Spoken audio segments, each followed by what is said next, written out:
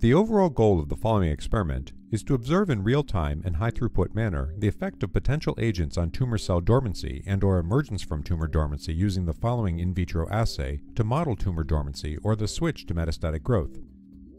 This is achieved by first culturing dormant and or metastatic tumor cells in a three-dimension Cultrex basement membrane extract or BME system adapted to a 96-well plate platform. When cultured in the 3D system, metastatic cells enter a transient dormant or quiescent phase. In contrast, tumor cells that are dormant in vivo enter a prolonged quiescent state in the 3D culture system.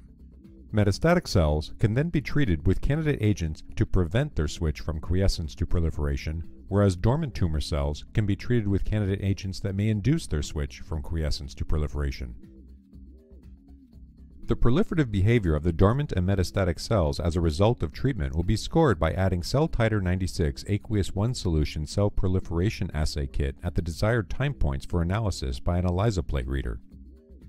Results are obtained that show the effect of treatment on cell proliferation of either dormant or metastatic tumor cells based on a cell proliferation assay in the 3D system. This method can help answer key questions in the metastasis field such as what factors and cellular mechanisms maintain disseminated tumor cells in a dormant state, and what factors and cellular mechanisms induce the switch from tumor dormancy to clinical metastases.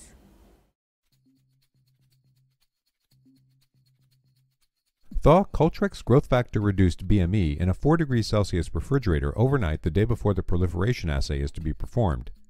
Then, on the day of the assay, select either a dormant or metastatic tumor cell culture for the experiment.